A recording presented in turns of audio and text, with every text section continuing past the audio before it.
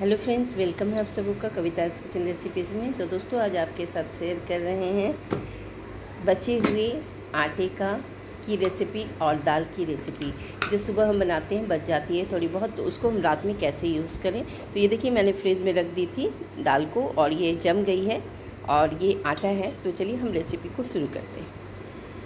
बहुत ही मज़ेदार सी रेसिपी बनेगी। आप वीडियो में लास्ट तक बने रहिएगा फ्रेंड्स तो यहाँ पर सुबह का आटा है तो उसे थोड़ा सा हम मार लेते हैं।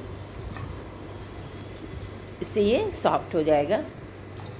जनरली सुबह की बची हुई आटे की हम रोटियाँ बना लेते हैं, लेकिन मेरी दाल बहुत बच गई थी और रोज़ रोज़ दाल में फिर फ्राई करना तो मैंने सोचा कि आज कुछ डिफरेंट बना लेते हैं। तो आटे की बड़ी सी लोई हमने तोड़ ली है और यहाँ पर मैं चक, चकला का यूज़ नहीं कर रही हूँ। स्लैब का ही यूज़ कर रही हूँ क्योंकि मुझे बड़ा सा रोटी इसकी बेलनी है और इतना बड़ा चकला हो नहीं पाता है। इसलिए मैंने सोचा कि इसी पर हम बेल लेते हैं।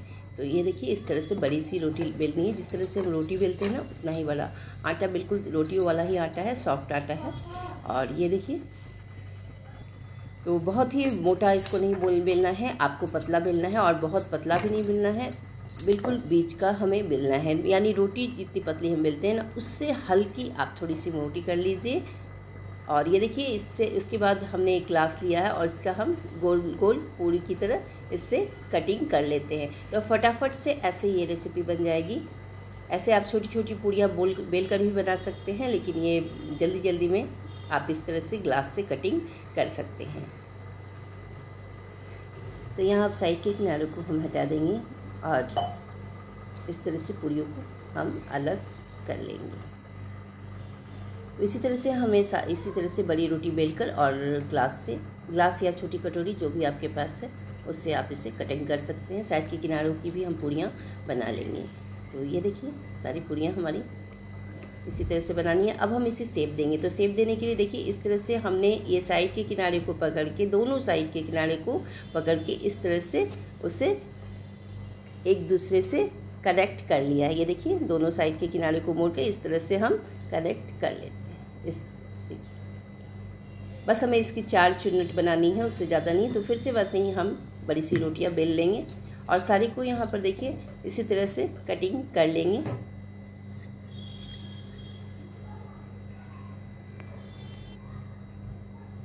और फिर से वैसे ही हम सेक दे देंगे। बहुत ही मज़ेदार सी ये रेसिपी बनती है और बहुत ही मतलब बहुत ही डिफरेंट रेसिपी बनती है। इसे आप तुरंत छान कर आटे से भी बना सकते हैं और दाल के साथ बना सकते हैं। तो यहाँ मैंने बचे हुए आटे और दाल का यूज़ किया है।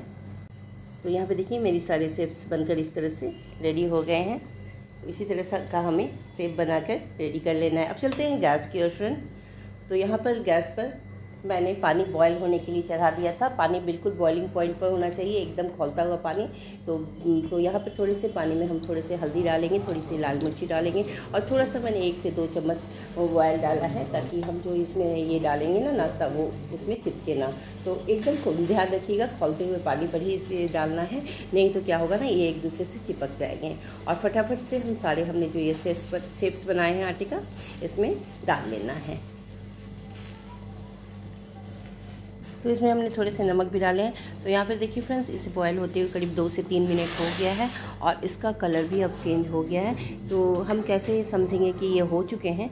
तो इसकी पहचान यही है कि ये जो है ना, ये सेत जो है थोड़ा पानी में ऊपर की तरफ़ चले आएँगे और साथ ही साथ इसमें एक साइनिंग सी आ जाएगी। देखिए, ये देखिए थोड़ी सी इसमें साइनिंग आ गई है। तो इसका मतलब है अब ये हो चुके हैं फ्रेंड्स। तो अब हम इसे प्लेट में निकाल लेते हैं। काफ़ी अच्छे से कुक हो गए हैं। और ये जो हमने पानी जो, में जो बॉयल किया है, इस पानी को भी हम फेंकेंगे नहीं, इसे हम बाद में यूज़ करेंगे। तो यहाँ पर हमने निकाल लिया और अब फिर से हम एक पैन चलाएँगे पैन में हमने करीब वन स्पून मस्टर्ड ऑयल डाला है। साथ ही साथ इसमें थोड़ा जीरा हम डालेंगे पूरा एक चम्मच भर के। जीरे की मात्रा थोड़ा ज़्यादा रहेगी। थोड़ी सी हमने प्याज डाली है ज़्यादा नहीं और हरी मिर्च डाली है। साथ ही साथ इसमें जाएगा अब ये जब इसमें अच्छे से जब ते, तेल में जब ये हो जाए इसका फ्लेवर आ जाए तो अब हम इसमें डालेंगे करी पत्ता। तो करी पत्ता हमने बहुत सारा इसमें यूज़ करेंगे। तो यहाँ हमने कड़ी पत्ता डाल दिया और कड़ी पत्ता डालने के बाद हमने जो ये पानी जो रखा था ना जिसमें हमने आटे को बॉईल किया था सेप्स को तो अब उस पानी को हम इसमें डालेंगे। तो इसी पानी को हमें डालना है तो एक बाउल हमने पूरा डाला है, और अब हम यहाँ पर जो हमने बची हुई जो दाल है ना, वो हम डालेंगे। तो उस दाल को हमें इस तरह से गर्म पानी में ही डालना है। तो यहाँ पर देखिए हमने दाल डाल दिया है, और अब हम इस दाल को अच्छे से पानी के साथ मिक्स कर लेंगे। तो यहाँ पर इसे हम अच्छे से मिक्स कर लेंगे।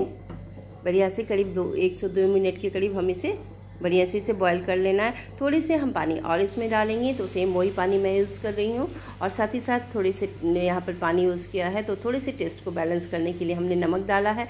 और अब इसमें जाएगा बस एक मेन इंग्रेडिएंट्स और उसके सिवा हमें कुछ नहीं डालना है। तो यहाँ एक चम्मच भरकर हमने डाला है सांभर मसाला। सांभर मसाला की जगह आप सब्ज़ी मसाला भी डाल सकते हैं, मैगी मसाला भी डाल सकते हैं, गरम मसाला भी डाल सकते हैं, पर सांभर मसाला से बहुत ही अच्छा टेस्ट आता है इसका। हमने थोड़े से इसमें कस्तूरी मेथी भी डाला है, इससे भी बहुत ही अच्छा ये फ्लेवर आता है इसका। लेकिन एक बार सांभर मसाला ही आप डाल कर देखिएगा, बहुत ही मस्त टेस्ट आता है। अब यहाँ पर बने हुए हम चिप्स, आटे के सिप्स को हम इसमें डालेंगे, ऐड करेंगे। और ये देखिए हमने सारे को इसमें डाल दिया है। तो हमारे यहाँ इसे दाल पिट्ठी कहते हैं, जिसे हम बनाते हैं आटे और दाल से, और इसमें कुछ मसाले डालकर। बहुत सारी जगह इसे दाल की दुल्हन भी कहते हैं तो आपके यहाँ ये, आपने ये रेसिपी अगर कभी बनाई होगी तो मुझे बताइएगा आपके यहाँ इस रेसिपी को क्या कहते हैं। थोड़ी देर के लिए हमने इसे कवर कर लिया है, और ये देखिए इसका कितना बढ़िया सा कलर आ गया है। अब हम लास्ट इंग्रेडिएंट और मेन इंग्रेडिएंट्स में डालेंगे एक चम्मच भर के शुद्ध घी। बहुत ही बढ़िया सा इससे इसका टेस्ट आ जाएगा। तो घी डालने के बाद हमें इसे अच्छे से मिक्स कर लेना है और अब हम चलिए इसे सर्व कर लेते हैं इस मज़ेदार सी रेसिपी को। तो रात के डिनर में मैंने इसे बनाया था और ये देखिए और सबको बहुत ही पसंद आया था और मुझे तो बहुत अच्छा लगता है ये। तो मैं हमेशा ही बना लेती हूँ जब भी दाल बच जाते हैं कुछ ज़्यादा तो। और ये देखिए और इसे हम सर्व कर लेते हैं। तो बहुत ही मज़ेदार सी लगती है ये रेसिपी तो फ्रेंड्स आपको कैसी लगी बचे हुए आटे और दाल की ये रेसिपी तो फ्रेंड्स आपको अगर ये रेसिपी ऐसी अच्छी लगी हो तो वीडियो को लाइक कीजिए शेयर कीजिए चैनल पर नए हैं तो सब्सक्राइब कीजिए। बेल आइकन प्रेस कीजिए ताकि आने वाले वीडियो का नोटिफिकेशन आपको मिल सके। और आप भी इसी तरह एक बार ये रेसिपी बनाइए और कमेंट्स ज़रूर कीजिएगा, आपको मेरी रेसिपी कैसी लगी। इस मज़ेदार सी रेसिपी को एक बार बनाना तो बनता है फ्रेंड्स तो मिलते हैं नए वीडियो के साथ, तब तक के लिए नमस्कार, शुक्रिया बाय बाय थैंक यू